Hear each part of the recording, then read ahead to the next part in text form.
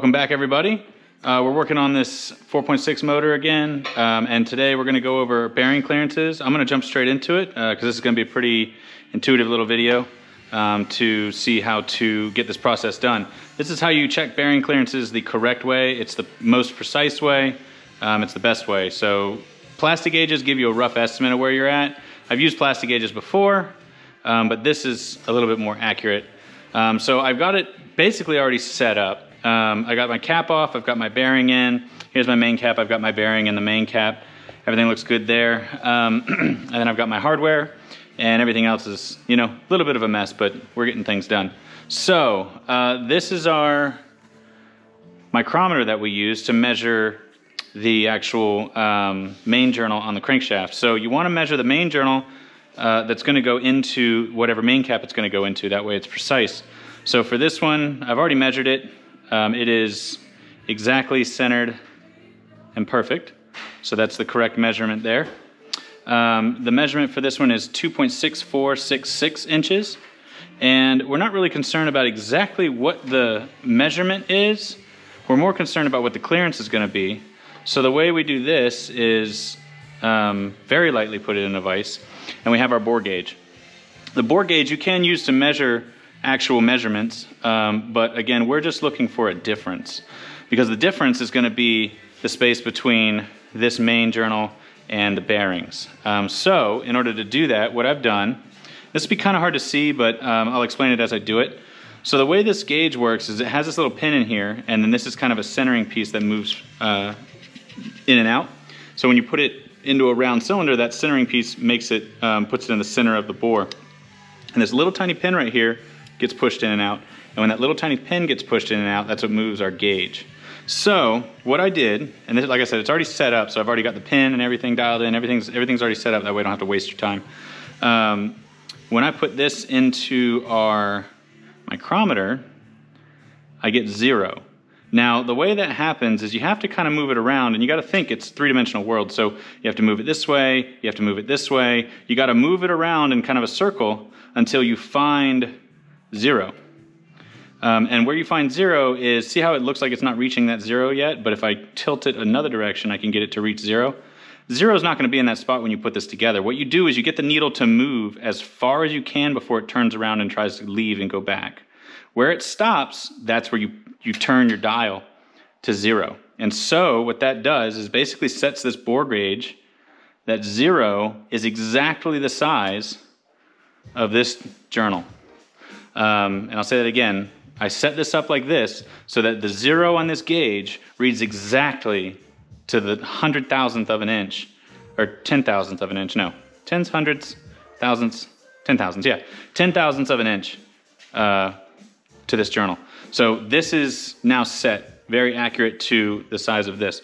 So now the next thing to be concerned about is getting your uh, surface prepped. Um, what you want to do is make sure you have all of your oils and stuff off of here. You know, you don't want to be pressuring any, uh, you don't want to hydrolock anything. So make sure your surfaces are super duper clean, everything looks good. So we're going to take our main cap and I'm going to drop it into place. Okay, and that sets in there nice. You want to make sure it's nice and flat, which it is. Now the next important thing whatever hardware you use to tighten this down is very important because the different hardwares that you use, so right here we're using the ARP hardware um, and then we have ARP side bolts. If I tightened it with regular main cap bolts from Ford and measured it, uh, it's not gonna be the same because when you tighten down the ARP hardware, what's called clamping pressure is different. And that will actually flex the aluminum and the steel into a different shape. So when this block went to the machine shop, we had them line hone the crank area, the main uh, caps, so that um, it was straight and true, and we also did it with this hardware. So I gave them this hardware, they installed this hardware, and then they cut the main uh, line hone. So it's very important that you do that. Um, these are already oiled, so I've got my hardware, a little bit of oil on them, bring them down. The other piece that's kind of important when you're doing this is your torque specs. Um, so this block, the machine shop was nice enough to actually put the torque specs on here for me. So inners are 60, out 25, side bolts are 35. So that's what we're gonna do. So I've got my snap-on torque wrench here. I'm gonna set it to 60. Bingo, looks good. And then got my socket. So we'll go ahead and tighten these down.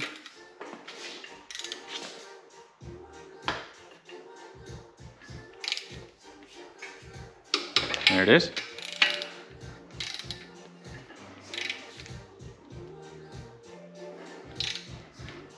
There it is. All right, now, another important thing is make sure you move it and reset your torque 25, because if I try and crank that little one down to 60, you're gonna break stuff. So we come down to 25, and it's important to remember your torque, uh, you know, um, patterns. So we need to do our inners first, outers next, and then the side bolts last. Um, so let me get my, uh-oh, lost my tool. There it is. The 10 millimeter, man. 10 millimeters always running away from us. Forever and ever.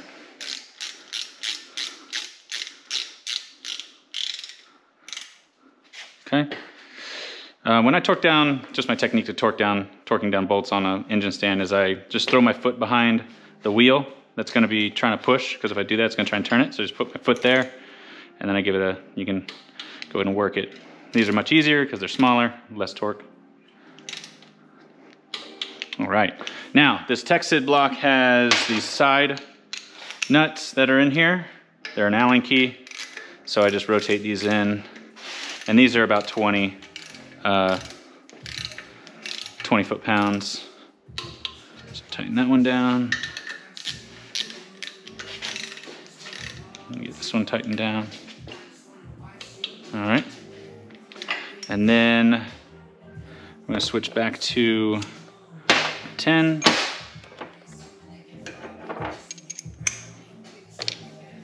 And these side bolts are 35.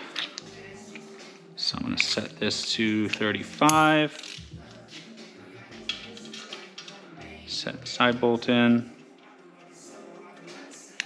So now, with this hardware and these torque specs that the machine shop gave me, um, the main cap is torqued down to exactly what it was torqued down to when they line honed the crank.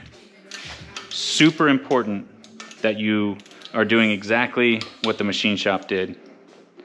Um, there's all, you know, you can throw together whatever you want, but this type of precision is what keeps things together pretty much guaranteed, unless there's a uh, manufacturer issue with a part, like a rod bolt, something like that. All right, so now we've got our main cap tightened down perfectly. Bearings in there, everything looks good. So now we're ready to measure.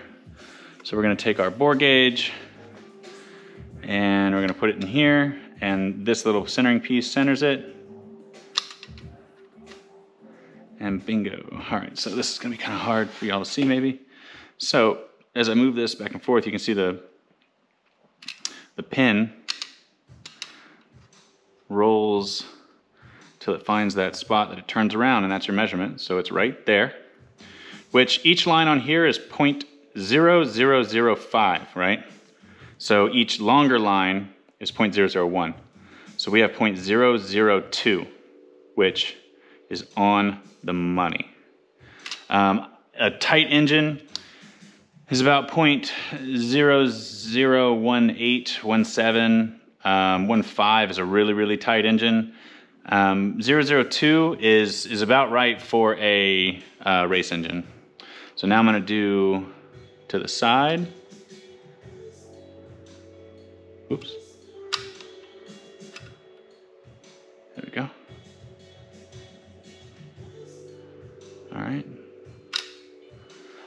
Looser that way.